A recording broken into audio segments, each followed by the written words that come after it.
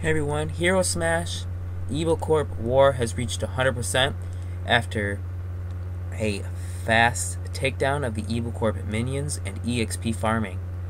You can visit the Super City Mall and talk to Paulina, where the War Shop is unlocked, but the War Shop item is currently just a placeholder, and the item will be added soon, I'm guessing as soon as Artix Entertainment can catch up after this crazy fast war takedown.